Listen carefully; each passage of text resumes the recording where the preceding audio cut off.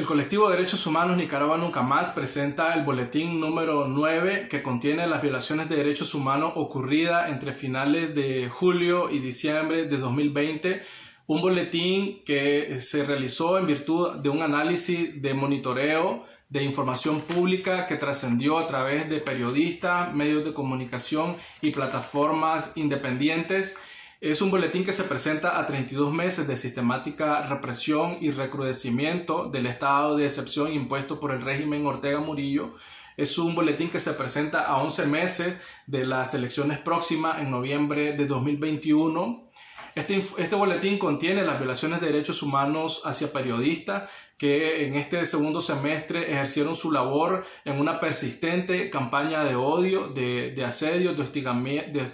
hostigamiento de criminalización del ejercicio de la labor periodística, de igual manera una, eh, un clima de estigmatización por el ejercicio de la labor en que eh, periodistas han sido impedidos de ingresar, de obtener la, noticia en las distintas, en, los distintos instituciones públicas, pero de igual manera eh, se les ha impedido o se les ha obstaculizado el ejercicio de su labor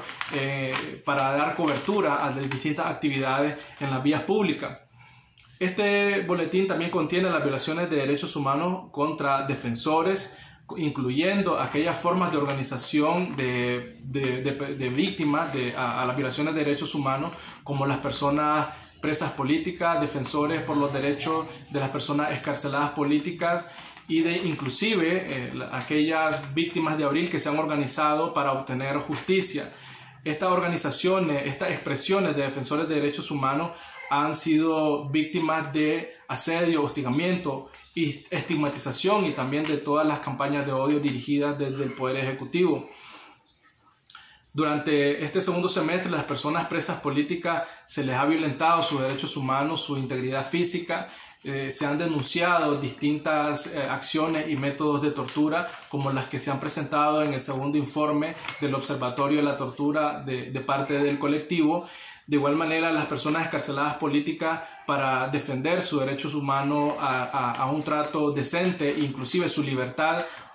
por, exigir su libertad, dado que se encuentran reas de conciencia simplemente por tener una opinión política. Eh, las personas escarceladas políticas eh, eh, han sido víctimas de asedio, hostigamiento y amenaza, incluyendo sus familiares, en que se les ha impuesto un régimen de cárcel por cárcel, en que sin ningún tipo de, órdenes judiciales la policía se ha encargado de, allanar, inclusive de agredir a todas las personas, eh, no solo a, los presos políticos, sino también a sus familiares.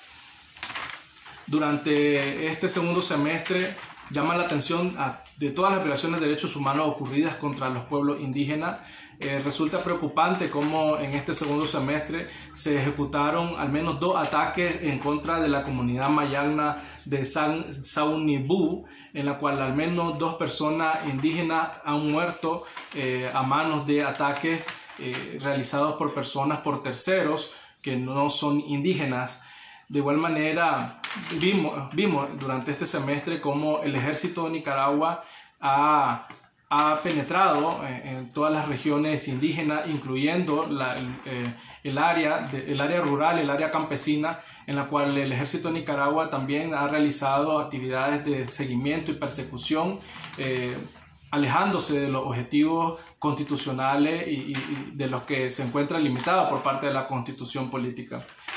El colectivo presenta este boletín reiterando su, eh, su, compromiso en base a documentar y seguir documentando las violaciones de derechos humanos ocurridas contra, contra el pueblo de Nicaragua, recordando que en el marco de la celebración de la Declaración Universal de los Derechos Humanos, el Estado de Nicaragua queda en deuda ante el incumplimiento de todas las garantías de las libertades fundamentales.